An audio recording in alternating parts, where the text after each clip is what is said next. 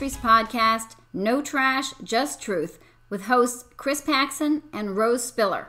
At Proverbs 910 Ministries, we are dedicated to taking out the trash of false teaching and replacing it with biblical truth.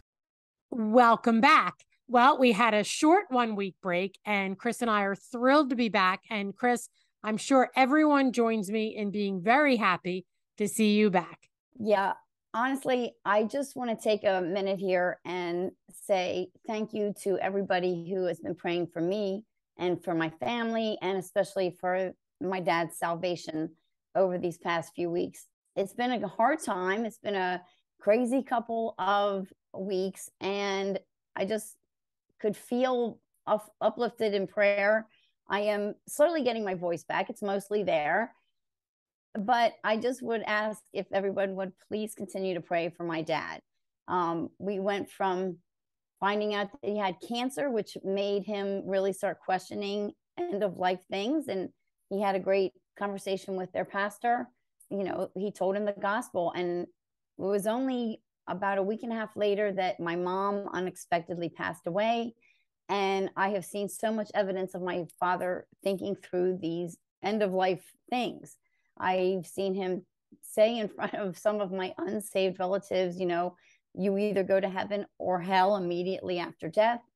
I've seen him say things that I had not heard him say before and talk about things that he hadn't really talked about much before. Although he had heard the gospel and he had asked questions, it's clear that he's evidently thinking about it now. So please just keep him in your prayers. I thank you so much for praying for him all this time and for praying for me and we still have a lot of hard stuff to go through but um, the lord has used it mightily.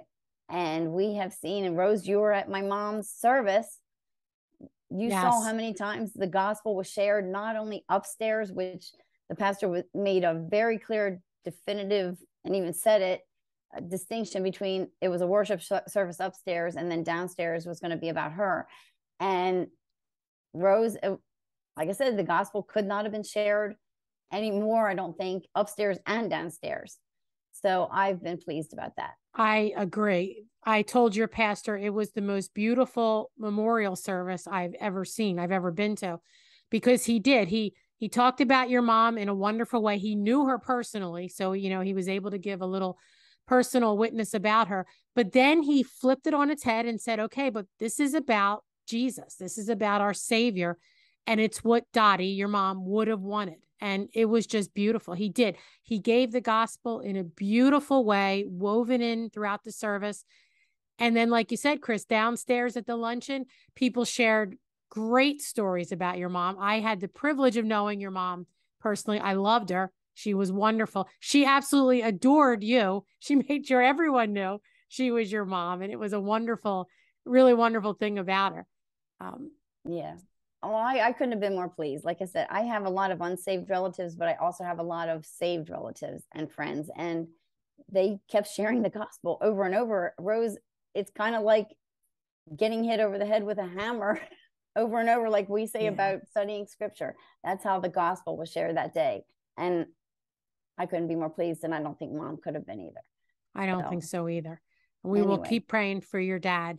Thank and you. thank you, Lord, for all the answered prayer we've seen so far. But it's good to have you back. So we do appreciate everyone's patience and prayers. And we're excited to be starting our series, Going for the Gold in 2023. Uh, for this series, we're going to be going through the book of First Corinthians. We're not going to be expositing it verse by verse. Instead, we decided to go through this book by pulling out themes of each chapter and digging into that theme this book is so chock full of so much. If we exposited it verse by verse, it would take up all of 2023. Oh, yeah, it definitely could. But let's start out by giving some background and intro material on this epistle.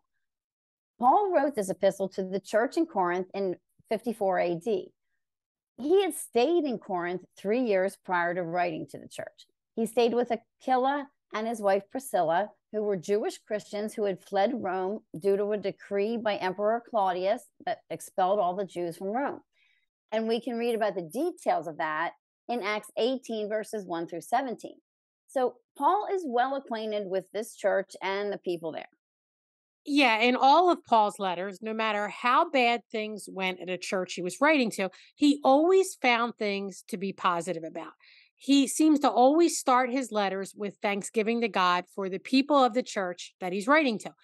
And First Corinthians is no different. There's one exception to that, and that's Galatians, but most of the time Paul always finds things to be thankful for. But after his pleasant little greeting, he dives right into the problems that were plaguing the church in Corinth. And there were numerous ones. Yeah. Corinth was a port city, and that meant that people were constantly coming and going. And that might have contributed, or probably did contribute to the morality problem that the Corinthians had. And some of it was secular immorality making its way into the church, uh, if you can imagine that. And the church had other problems too.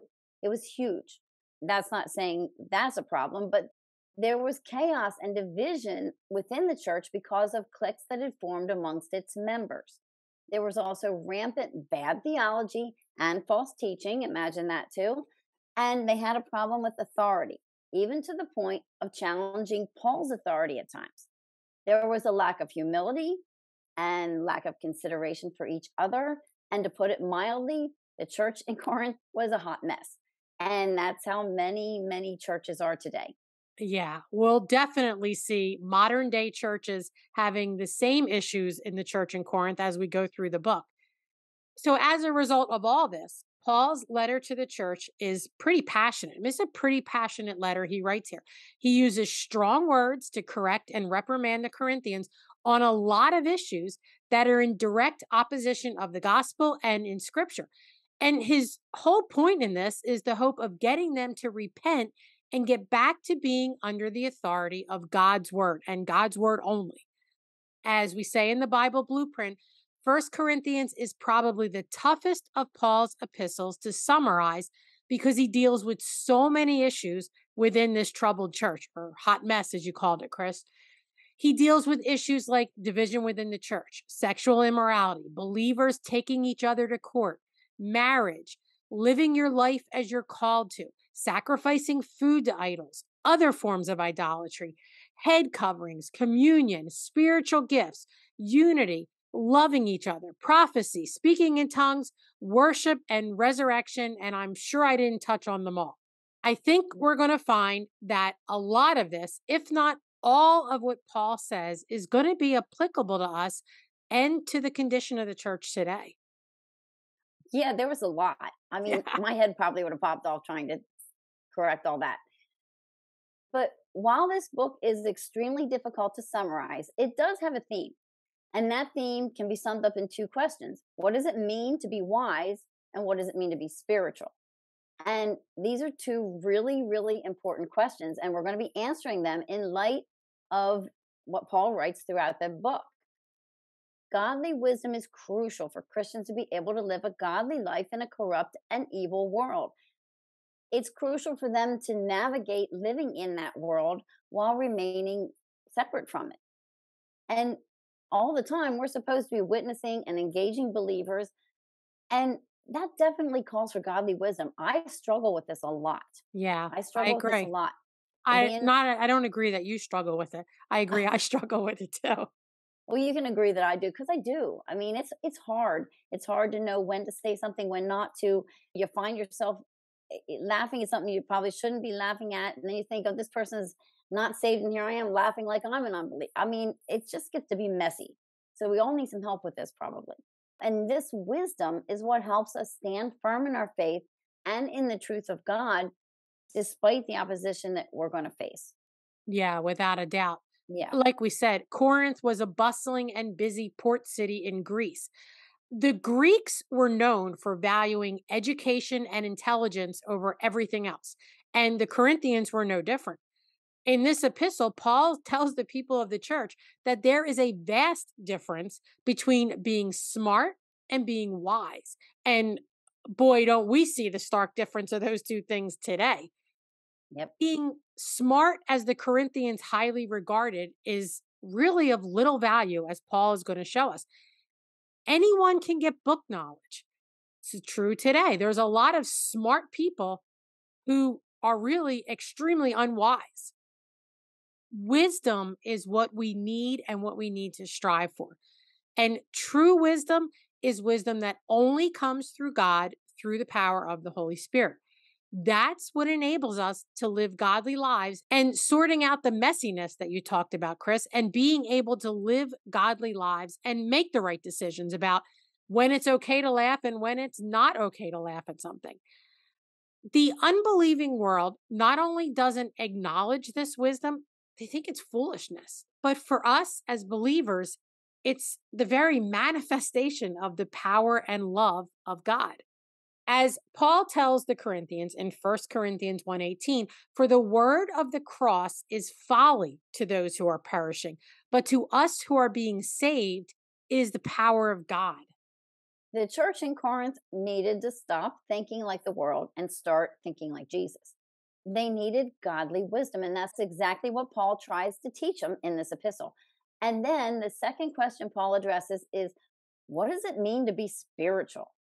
And Rose, this is also crucial because of how wrong the world and even many Christians have gotten this, starting in Paul's time right up till today. Just like with not understanding the true definition of wisdom, many in the church in Corinth didn't understand the true definition of spiritual. We did an interview a few months ago with Doreen Virtue where we clearly saw how corrupt spirituality has become. And well, Paul was dealing with the same thing in the church in Corinth. They were using worldly views of their time to define what spirituality was. And we're going to dive into this in depth in a later episode, but they falsely believed that the soul and the body were completely separate and that one did not affect the other. So while they gave their soul to Jesus, their body, they thought, was theirs to do with whatever they wanted. And it led to rampant sexual immorality in the church hmm, you know, confessing Jesus with your mouth, but grossly sinning with your actions. It does sound kind of familiar. Just a bit. Uh, yeah. And as we'll see when we get to it, Paul has really strong admonishments about it. Yeah.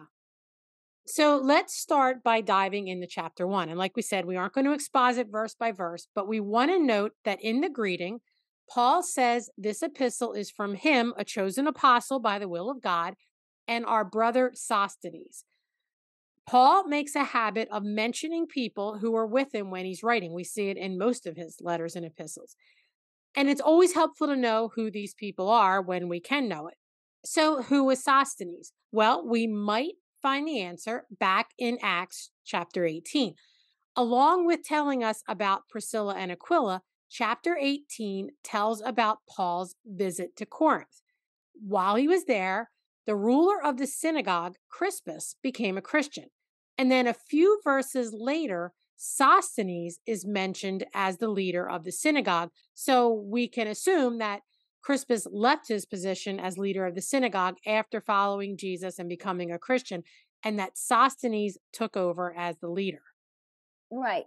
And the Jews in the synagogue united and launched an attack on Paul, saying that he taught people to worship God contrary to the law. So they bring him in front of the Roman who's in charge, named Gallio. But Gallio sees that this dispute is just about their religion and not about a real crime. So he doesn't really care. And he tells them to handle it themselves. And then something strange happens. Acts 18, verse 17 says, And they all seized Sosthenes, the ruler of the synagogue, and beat him in front of the tribunal. But Gallio paid no attention to any of this. And that's the end of the verse. Now, we're not 100% sure that the Sosthenes from Acts 18 that you just read, Chris, and the Sosthenes that Paul mentions in his intro in First Corinthians is one and the same man. Most scholars believe it is the same man. We also aren't completely sure why the people decided to seize and beat Sosthenes, the synagogue ruler, in Acts 18. It makes it, no sense. It doesn't really make sense. It could have been that they thought their failure to prosecute Paul was his failure and they were just really ticked about it. Or it could be that since the previous synagogue ruler had left and become a Christian, maybe they suspected Sosthenes of being either a Christian sympathizer or fraternizing in some way with Paul.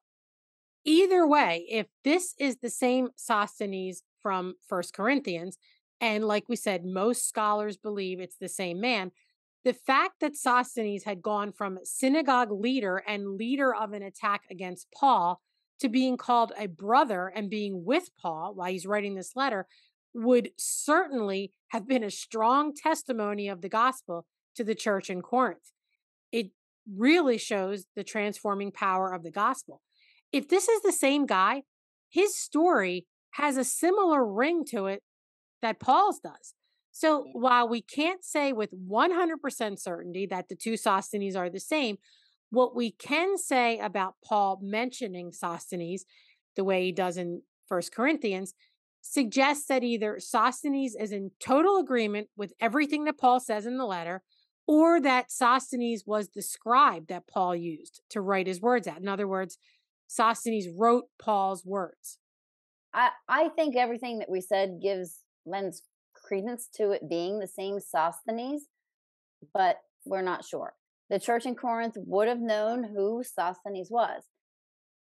After Paul gives thanks for the Corinthian church, he launches into an appeal to stop the divisions within the church. Paul says in 1 Corinthians 1:10, I appeal to you brothers by the name of our Lord Jesus Christ that all of you agree and that there be no divisions among you, but that you be united in the same mind and same judgment. That's the end of the verse. There were issues with the people of the church only following certain teachers. Some in the church said they would only follow Paul, while others said that they would only follow Apollos, others would only follow Peter, and some would say that they wouldn't follow any of them, only Christ. Paul explains to them that Christ is the one we all follow. He's our Lord and Savior. However, there are those who have been called to teach about Christ, and if they are teaching truth, there's no reason for division. Paul, Apollos, even Peter weren't Jesus, they were merely pointing the people to him. Chris, I think we need to spend some time on Paul saying that there should be no division in the church because it's a concept that's been hijacked, misused, corrupted, and exploited for evil. Yep. We see all the time people saying, they say it to us stop criticizing brothers and sisters in the faith and other churches. Stop calling what you call false teachers out because you're causing a division in the church. And let me tell you, Satan and the unbelieving world are taking full advantage of the confusion and misinterpretation of Paul's words. We're going to see that. So, first and foremost, we need to understand what Paul is saying here. The church was divided over following Paul, Apollos, Peter, and Jesus. Paul, Apollos, and Peter were all solid biblical teachers teaching the truth of God's word. It's not like you're going to go wrong being under any of their teaching. It would be like being divided today between following the teachings of John MacArthur, Voddie Baucham, or Alistair Begg. Yeah, they weren't choosing between Beth Moore and Paul Washer. I mean, that's a no brainer, at least for us. Paul's not talking about false teachers in this passage at all. Paul's addressing the church in Corinth as believers. He's saying believers need to be united, no divisions on the essential things of Scripture. Paul, Apollos, and Peter were giving the same message. They were preaching truth, but still, Paul's telling them that these are just men. Jesus needs to be the standard. We are to only follow Jesus and only look to Scripture for our authority. God has graciously given us gifted teachers, preachers, and theologians that can help us better understand what the text says he's given us those who can show us how the Bible is one story seamlessly woven together that all points to Jesus. And we need that. Paul was telling them, be willing to listen and learn from godly teachers, but at the end of the day, only follow Jesus. Be united and undivided on that. And of course, that means that we put everything we hear up against scripture and what Jesus taught. As Got Questions says, and I'm quoting them, Paul is setting up Christ as the standard for every thought and judgment. As every person conforms to Christ, they will come into alignment with each other. Differences of opinion will be secondary to fundamental agreement, and brotherhood through Christ.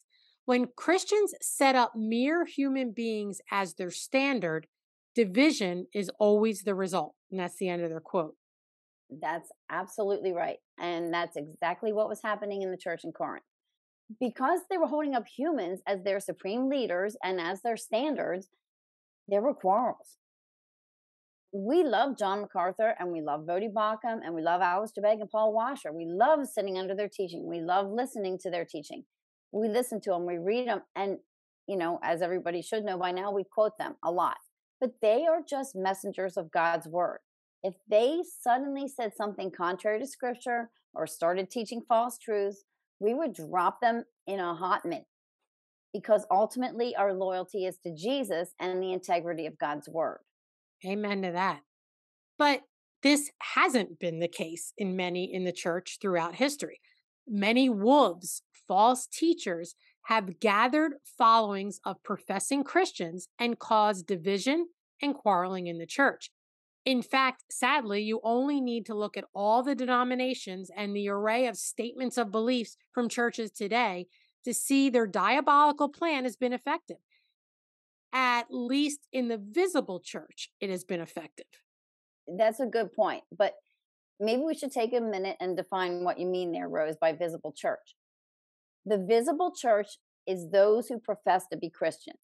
In contrast, the invisible church are those who are actually Christians. They've been regenerated and have come to a saving knowledge of Christ. So everyone in the invisible church is part of the visible church, but not everyone in the visible church is part of the invisible church. In other words, we sit in church with people in a group, and some are tares and some are wheat. And this has caused problems forever throughout history in the church. People have criticized Christianity, especially Protestantism, because of the many different teachings and beliefs. And from the outside, it can look confusing and like we're a hot mess, just like the church in Corinth. But Jesus has promised to protect his bride, meaning the invisible church, those who are truly believers. He says in John 6 35 to 40, I am the bread of life. Whoever comes to me shall not hunger, and whoever believes in me shall never thirst. But I said to you that you have seen me, and yet do not believe. All that the Father gives me will come to me, and whoever comes to me I will never cast out. For I have come down from heaven not to do my own will, but the will of him who sent me. And this is the will of him who sent me, that I should lose none of all that he has given me, but raise it up on the last day. For this is the will of my Father, that everyone who looks on the Son and believes in him should have eternal life, and I will raise him up on the last day. Chris, I think we should divert a little bit here because I think it's important to see the difference between the invisible church and the visible church and to better understand what Paul is saying when he says there should be no division in the church. And we can see how people get it so wrong. If we scroll through some church history, I think it'll help us see how the visible church has gotten it wrong horribly in history. And I think it will help us see the road that led us to where we are now. All the different denominations, different beliefs amongst churches professing to be Christians. And you can't possibly keep them all straight. There's so many. That's not even mentioning those that aren't even under a denomination. And that's why you need to know scripture. That's exactly why you need to know scripture. And you need to make sure you're part of the invisible church. Yeah. We talked about apologetics a couple weeks ago, and that plays into this. We want to be able to answer questions like, is there ever a time that there should be division in the church? When people come to us and say, How can we believe the Protestant church is any good when it's so divided? We need to be able to answer it. Oh, is there that all, I see that all the time. People we ask see, that all the time. We do. We see it all the time. And they say, well, the Catholic Church is united, the Protestant Church isn't, which isn't exactly true. But we need to be able to address those questions. If there is a division in the church, is increasing that divide going against Paul's words here? How can we attain godly wisdom to help in this? And what should it look like for the church to be united and spiritual? Chris, let's start with a known strategy of politics, war, and anyone looking to get control of people. And that's that the way you control people is to divide them. A united people is almost impossible to gain control of.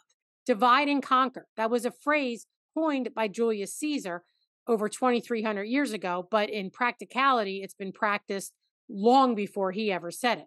Way back in the Old Testament, this tactic was exactly how the pagan nations that surrounded the Israelites in the promised land got to the Israelites and caused them to sin.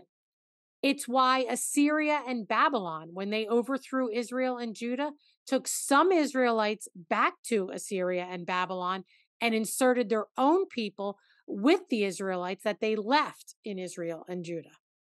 It makes perfect sense. Divide and conquer.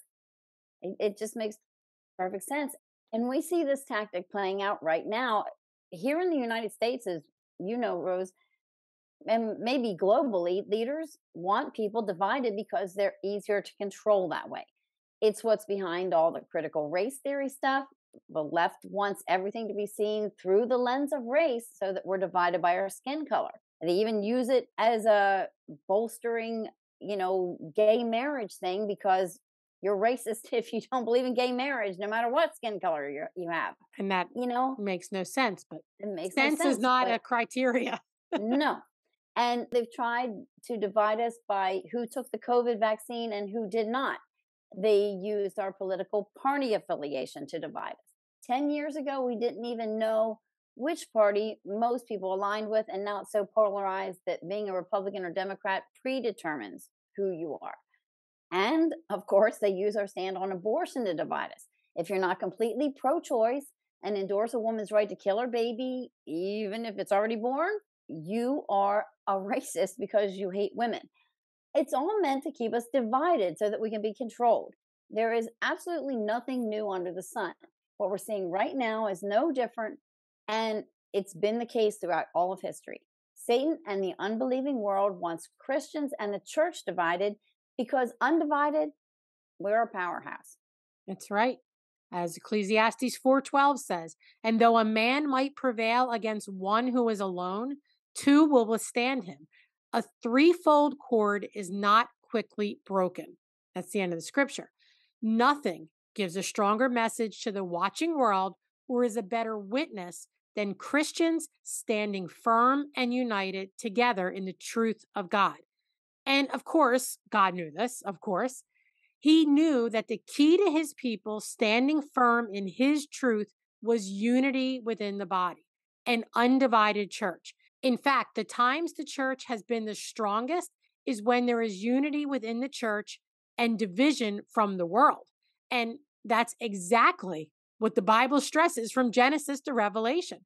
The church and God's people need to live in the world, but not be of the world. And that's probably why the times the church has been at its least effectiveness and weakest spiritually is when it has been divided within and united with the world. And Chris, as you know, this is a really complex issue because Paul and scripture are talking about the true church, true believers, true followers of Jesus Christ, the invisible church. That is the church that is not to be divided. Exactly. But Paul and Jesus knew that those who show up to a building each week are not necessarily part of the true church. Just like standing in a garage doesn't make you a car, sitting in the church doesn't make you part of the invisible church. It doesn't make you a Christian. We're warned over and over and over about those who will infiltrate the church and try to destroy it. Remember, divide and conquer. Jesus said in Matthew 7 15 to 20, Beware of false prophets who come to you in sheep's clothing, but inwardly are ravenous wolves. You will recognize them by their fruits. Are grapes gathered from thorn bushes or figs from thistles? So every healthy tree bears good fruit, but diseased tree bears bad fruit. A healthy tree cannot bear bad fruit, nor can a diseased tree bear good fruit. Every tree that does not bear good fruit is cut down and thrown into the fire. Thus, you will recognize them by their fruit. And Paul reinforces this teaching in Acts 20, 28 to 31, where he says, Pay careful attention to yourselves and to all the flock in which the Holy Spirit has made you overseers to care for the church of God, which he obtained with his own blood. I know that after my departure, fierce wolves will come in among you, not sparing the flock. And from among your own selves will arise men speaking twisted things to draw away the disciples after them. Therefore, be alert, remembering that for three years I did not cease night or day to admonish everyone with tears. That's the end of Paul's words. Peter, John, and Jude also warn against false and corrupt teaching that would infiltrate the church, would test the church, and would cause division. And guess what? It did. It certainly did. Throughout the first century and all the way up until the third century, Christians were persecuted under the Roman government. They were accused of burning down the capital city, and it was actually Emperor Nero who did it. They were accused of being cannibals because in the communion celebration, we repeat Jesus' words to eat, for this is his body. And they were even accused of being atheists because they did not believe in multiple gods. And we see this atheism accusation play out in the third century under Emperor Diocletian. He ordered Christians arrested and killed, not because of their belief in Jesus Christ and the gospel, but because of the exclusivity of that. They denied that there were any other gods other than the one true God. Diocletian thought that his little g gods helped him get into power, and in return, he and the people had to worship those little g gods. If Christians in the church at that time had just compromised and said that there were other ways to get to heaven besides Jesus and that there were other gods besides the one true God, they wouldn't have been persecuted. Yeah. And Chris, that's a great example of an essential truth that believers and the church cannot be divided on and must be of one mind, as Paul says. Paul would have told the church in the third century the exact same thing he told the church in Corinth. I appeal to you, brothers, by the name of our Lord Jesus Christ, that all of you agree and that there be no divisions among you, but that you be united in the same mind and the same judgment. That's the end of Paul's words. The church needed and needs to present a united front, strengthening and encouraging each other as they stand firm in the essential truths of God's word. And those essential truths for what you're talking about, Chris, is that there's only one God, one Savior, and one way to heaven. They needed to be united in the truth of the gospel. And while there were certainly some individuals who did compromise that truth, and possibly left the church and Christianity to save their life, the church overall remained undivided and strong. Many of those people were martyred, like twins, Marcus and Marcellianus, who were natives of Rome and of noble descent. Their parents were heathens, but their tutors brought them up as Christians. As a result of their faith, their parents and their whole family ended up becoming Christian. They were martyred by being tied to posts and having their feet pierced with nails. After remaining in that situation for a day and a night, they were ultimately killed by lances being thrust through their bodies. Besides their families coming to faith, their jailer and his wife were also converted.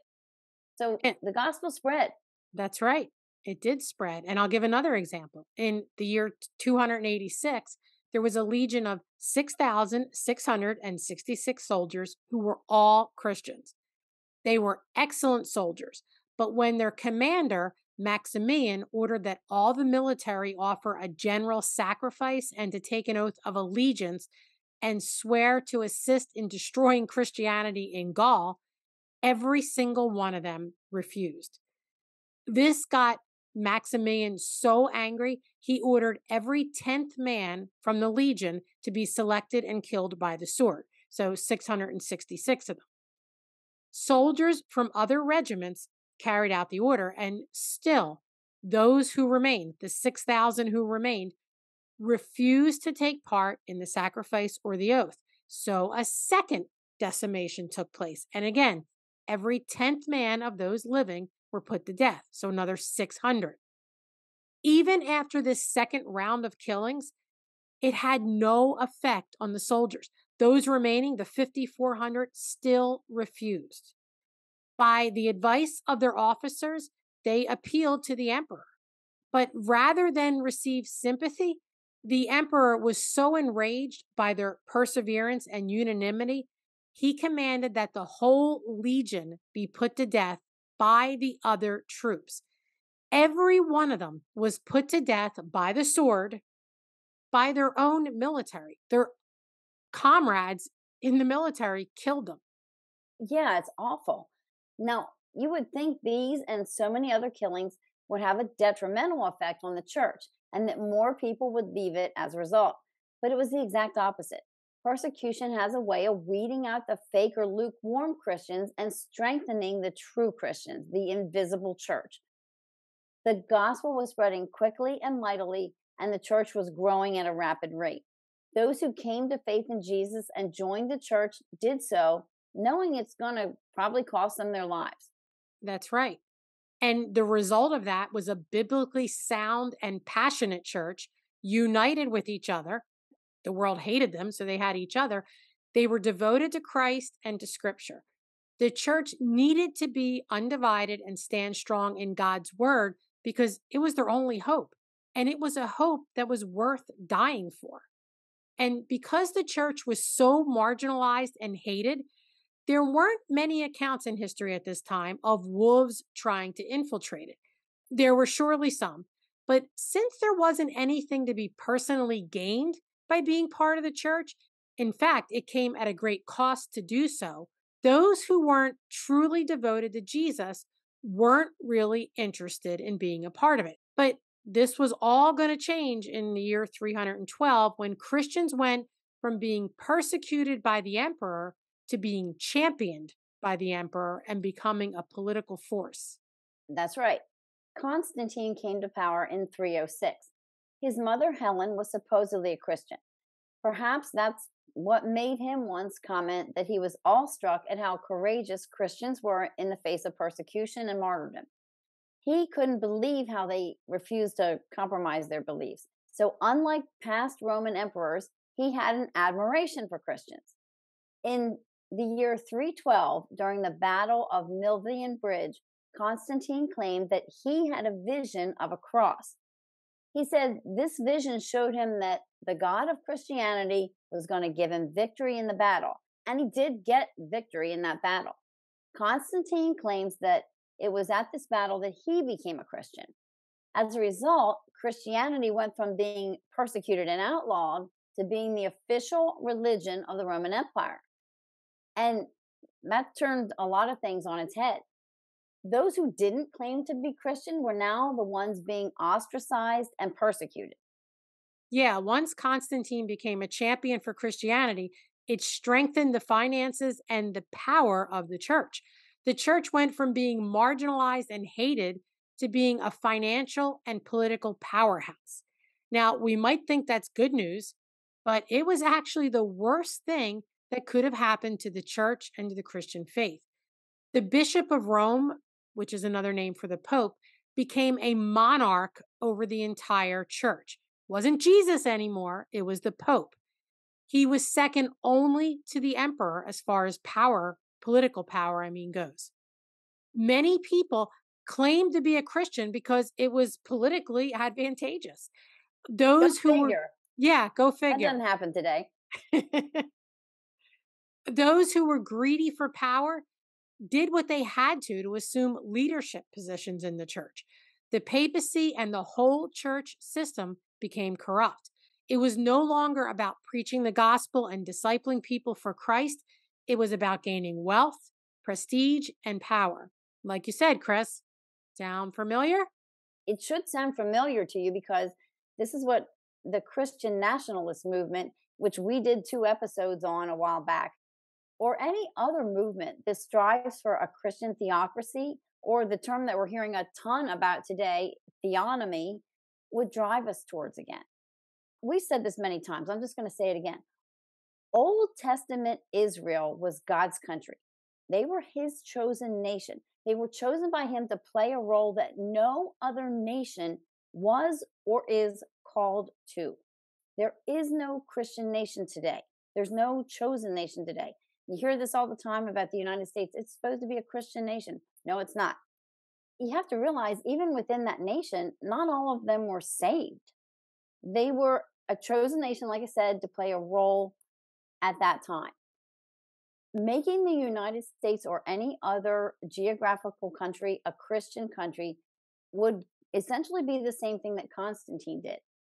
The church is who God has given the responsibility of administering the word and the sacraments to, not the government. We don't want a national church where the government is telling us how to worship. Now, I say that, and that doesn't mean that we don't want Christianity reflected in our laws because there is no morality without God because He's the lawgiver.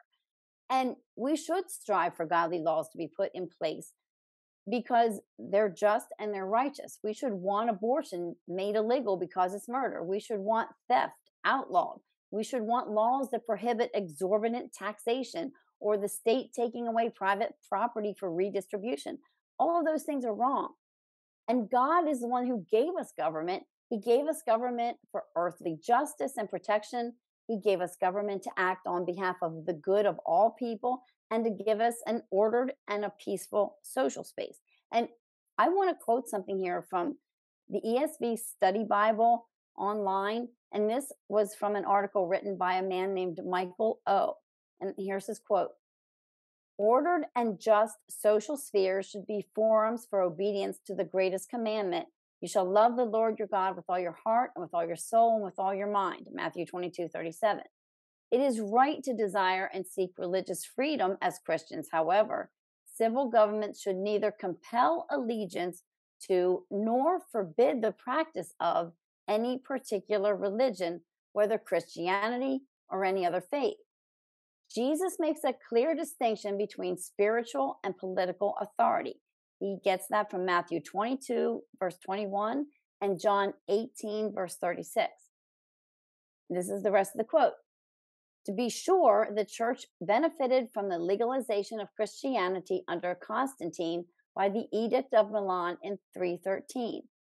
Arguably, however, the church also lost some of its vitality when the lines between spiritual and political responsibilities became blurred.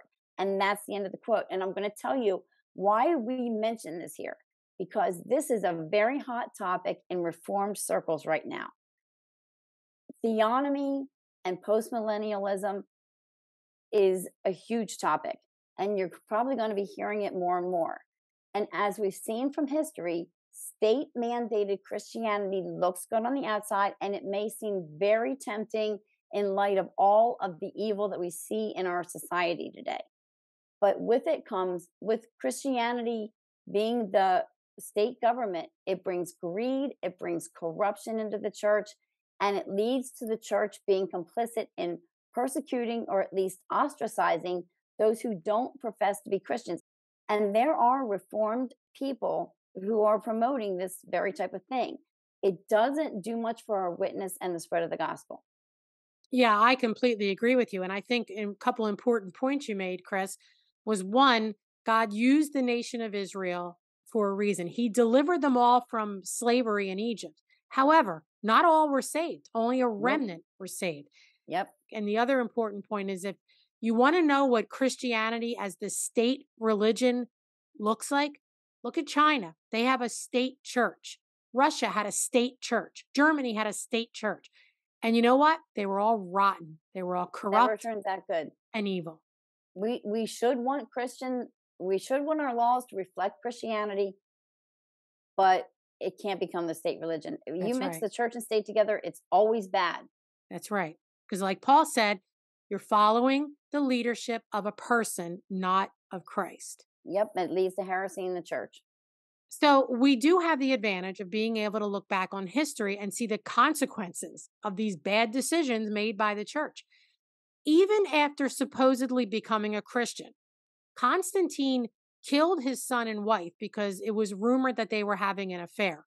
I don't know if they were mother and son, if they were actually related that way, or if it was from a previous marriage.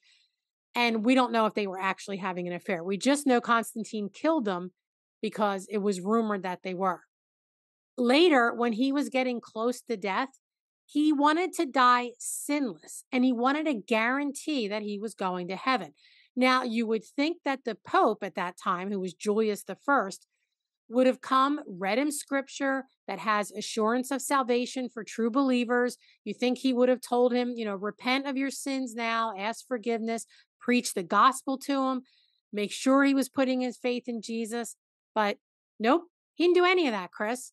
Instead, Constantine was told by the Pope, who was the leader of the church, that if he just got baptized, that would assure him his salvation like I said, it leads to heresy in the church. Yeah. It's just not good. Not good. And this belief called the doctrine of baptismal regeneration is still held by the Catholic Church today. In summary, Constantine is credited for making Christianity the main religion of Europe and the West. It is said that without Constantine, Christianity would have remained a small, politically powerless sect and not the powerhouse that it became. But you have to ask, is that a good thing? Well, not when you look at history. And if you go back and listen to those two episodes on Christian nationalism, you'll see how in the United States, those two things starting to mix together in the last 50 or 60 years has led us straight to where we are now. Even after the fall of the Roman Empire, the church retained power. And by then, the church had become to be known the Catholic Church, meaning universal the vast majority of the population identified themselves as Catholic and part of the Catholic Church. Popes became more powerful, more wealthy, more corrupt. When Pope Leo III crowned Charlemagne as Roman Emperor in 800, he established the precedent that in Western Europe, no man would be emperor without being crowned by a pope. In 1096, Pope Urban II launched the Crusades. That was a series of wars that lasted 200 years in total. And it was aimed at taking back Jerusalem and the Holy Land back from Muslim control, which it was under at the time.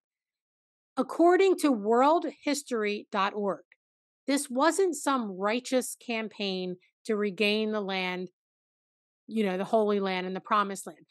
Pope Urban II was, and I'm quoting them, motivated by a desire to strengthen the papacy and milk the prestige to become the undisputed head of the whole Christian church, including the Orthodox East.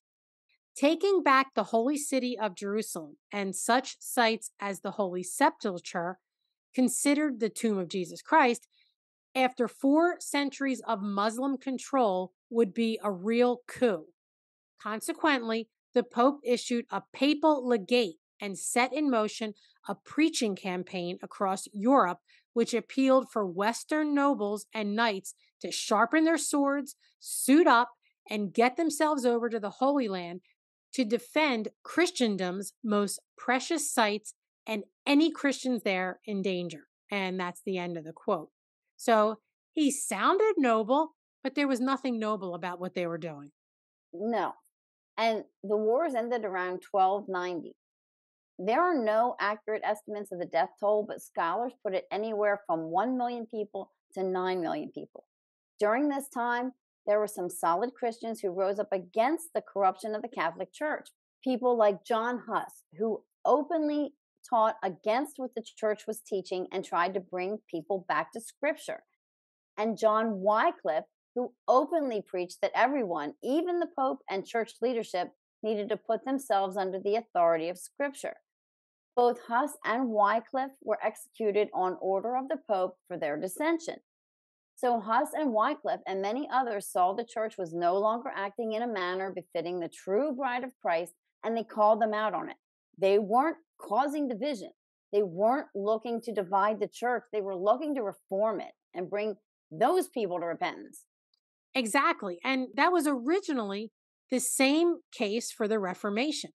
By the time the 1500s rolled around, as Ligonier Ministries puts it, the church's theology was rotten to the core. Honestly, the church's practices were no better than what the mafia does. With the mafia, they force you to pay what they call protection money. It's supposed to ensure that they'll protect your business, but the truth is that the only thing you need protection from is the mafia. Well, the church was exactly the same at that time. They sold you what was called indulgences. They said it was grace from the extra store of grace. It was protection from hell and insurance that you would go to heaven when you die. But what you really needed protection from was the church and their satanic teaching.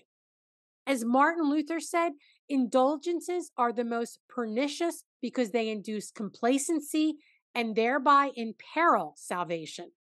Those persons are damned who think that letters of indulgence make them certain of salvation. God works by contraries so that a man feels himself to be lost in the very moment when he's on the point of being saved. Yeah, and it is the same here as we talked about with Huss and Wycliffe because Luther wasn't looking to divide the church. He's trying to correct it. He was looking to reform it and bring it back under the authority of Christ and the Bible. Others joined in with Luther. Maybe some of you didn't know this, but Luther, Zwingli, Bucer, and others were part of the Catholic Church. They were monks, priests, friars. Even John Calvin was training to be a priest. They never wanted the church to be divided. Like we said earlier, they wanted it to be reformed. But there came a point where reform in the Catholic Church was impossible, and the theology and the teaching was so antithetical to Scripture that there had to be a division. So they split, and the Protestant Church was born. And we don't have time to go through how each denomination was formed, but what we can say is that the Reformer fathers were all united on the essentials of Scripture. As Paul says in 1 Corinthians 1:10, they were united in the same mind and the same judgment. Yeah, and those essentials became the five solas sola fide, faith alone, sola Christus, in Christ alone, sola gratia, through grace alone, sola Deo gloria, to the glory of God alone, and sola scriptura, scripture alone as the authority. Now, they did differ on Paedo and Credo baptism, meaning infant and believers' baptism, and their view of exactly what communion was, whether Jesus was physically present in it, spiritually present, or if it was just commemorating what Jesus had done. And there were debates and arguments and split offs. And that's really sad because the result is sinful man running the church. But as we said, on the essentials, there was no division. That's right. Over the last 800 years, the church has gone through some really tumultuous times again due to sinful man and wolves infiltrating the church.